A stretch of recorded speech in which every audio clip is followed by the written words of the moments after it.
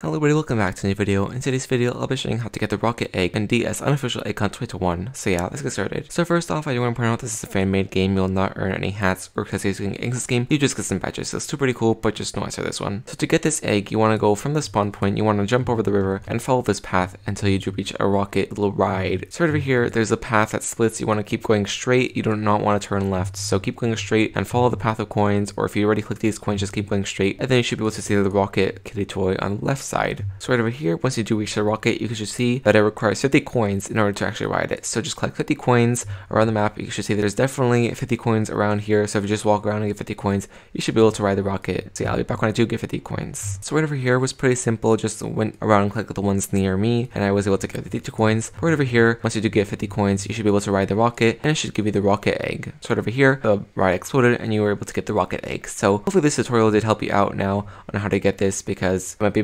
difficult to locate this ride. But yeah, that's pretty much this video, and I'll see you guys next time. Bye.